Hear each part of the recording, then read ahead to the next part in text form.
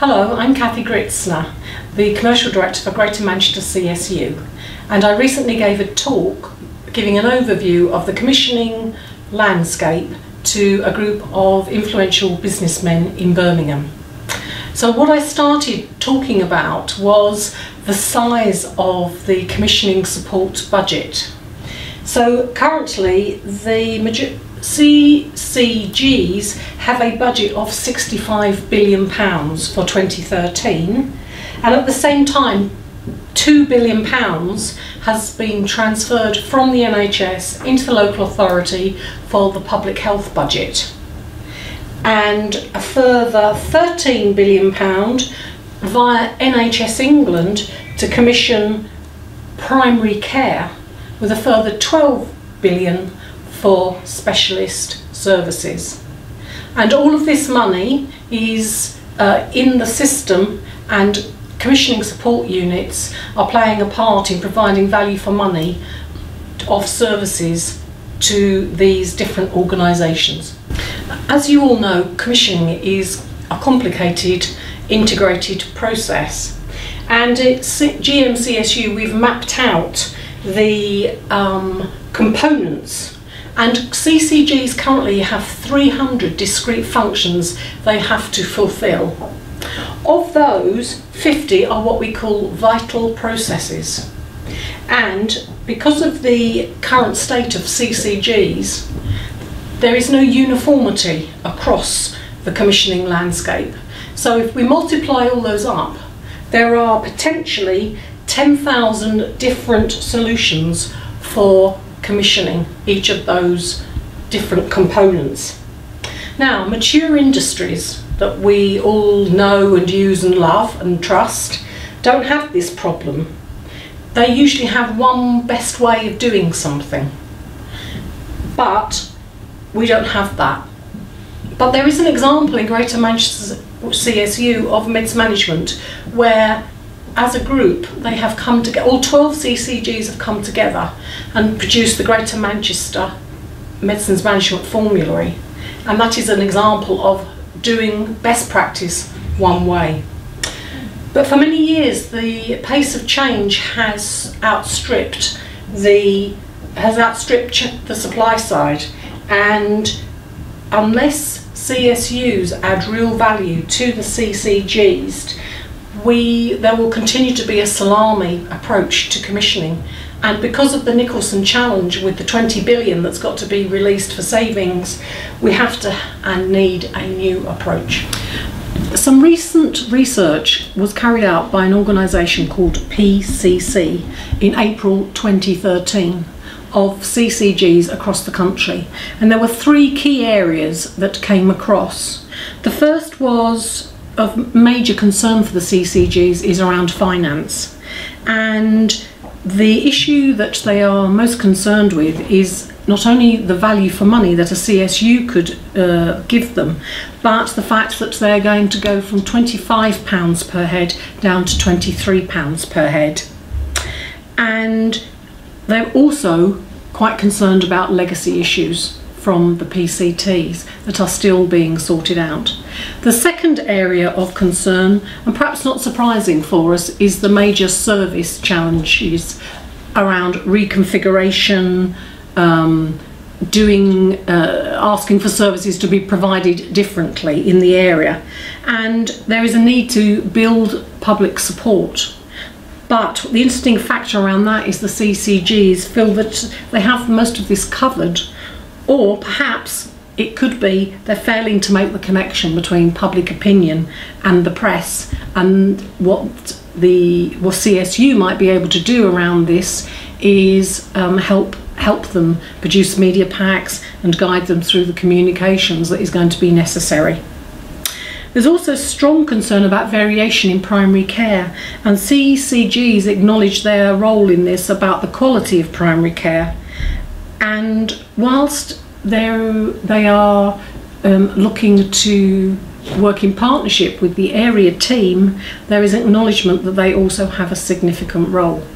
And then finally, the third area of concern for CCGs is the affordability of CSUs and the perceived freedom of choice that they believe they have under the Health and Social Care Act.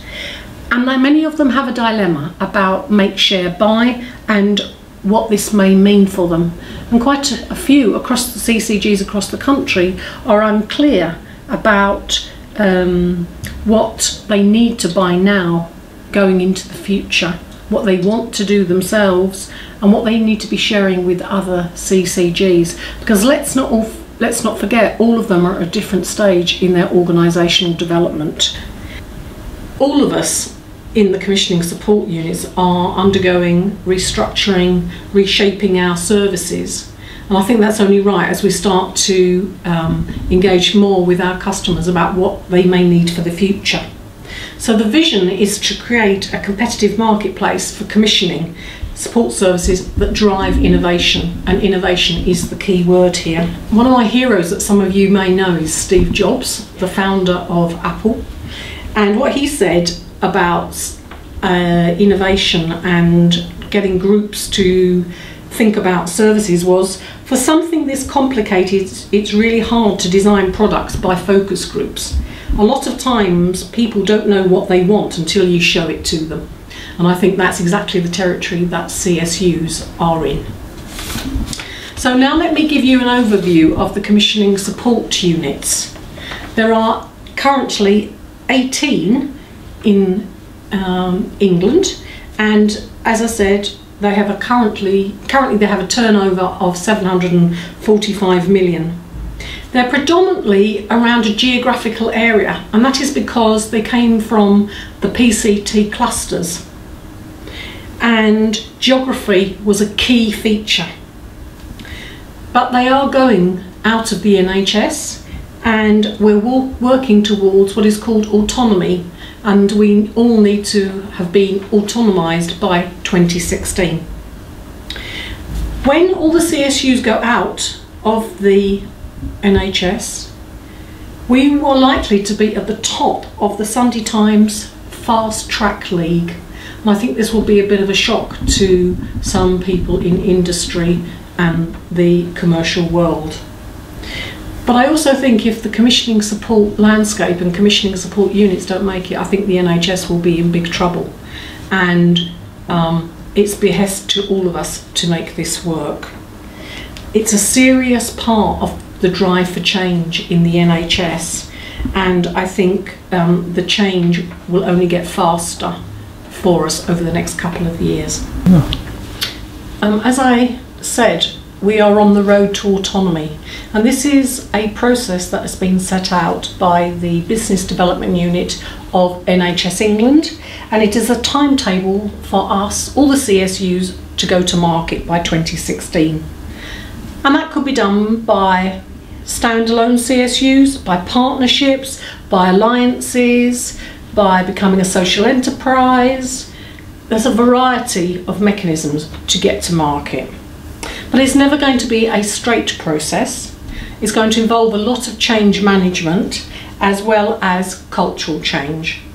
A lot of the star of our staff were in the PCTs and we're now asking them to become providers of services and this will require a culture change and a new mindset. I think CCGs as well will also need to think about what are the services they want going forward and start to think of themselves as customers as well. So, to give you hot off the press, the lead provider framework, as it's called, will be by January 2014, the uh, framework will be in two lots. The first lot will be patient focused, clinically led commissioning support, which is around medicines management, um, independent uh, reviews of patient care, of services they may, may need. And the second lot is the, what is called the six domains, and that's relating to business support and HR, healthcare procurement and provider management, service redesign, communication and patient and public engagement, business intelligence, data management and information governance, and finally, major service transformation. So, as I alluded to, the commissioning support services market in the future will feel very differently. I believe there will be more vertical and specialisation among commissioning support units, working with our commercial sector partners. And I think also we'll see robust alliances between the CSUs. I think we'll be forming partnerships between the CSUs and the private and the public sector partners to look at where we're complementary and also where there are services that we no longer, as NHS CSU currently, we don't wish to um, provide services. I think we'll be much more innovative around models of delivery and we will use technology to drive change and um, adopt um, the technologies, sorry, the adaptation of technologies. And I think we'll be more innovative around pricing strategies. Uh, I'll say for shared risks and benefits. Uh, so we might very well be doing risk and reward contracts. I think we'll also see potential smaller niche suppliers, very focused, one product that will be able to work across CSUs. And I think we will see the economies of scale that I first talked about. So if you remember, I talked about the 10,000 potential ways of doing things. I think that will um, come very quickly down to a more manageable scale. And I think we'll also see increased activity from the large consulting houses. And I think that will be a good thing because it will help drive the change. So I think there's lots of opportunities for us to be working through and seizing. I think there'll be a heavier focus on designing products and services that are aligned to the commissioning intentions of the CCGs and that will be about for us the added value as well as the culture change as I as I said that we need to be getting into. I think one really interesting concept is the fact that in the past, lots of suppliers used to know who to go to inside organisations. Because of this change in the health service, lots of people have moved um, to new posts, they've moved to new organisations, and lots of people have left the NHS. So I think one of the issues for suppliers will be how to get a handle on who to talk to in the health service to start putting together some of these partnership working. I think there's an opportunity around high level expertise from um, commercial sector partners as well as other CSUs and a, and a desire amongst all the CSUs to expand and excel in, in areas um, that CCGs we know are going to really want our help in. And finally, CSUs are large NHS organisations currently. And I have to say, I don't think we're very agile at the moment. I would ask and suggest that maybe you're not as agile either and what could we be doing to solve some of these problems. So finally I want to leave you with a quote from George Bernard Shaw. If you have an apple and I have an apple and we exchange these apples then you and I will still have one apple. But if you have an idea and I have an idea and we exchange these ideas then each of us will have two ideas and that is what commissioning support should be about. Thank you very much.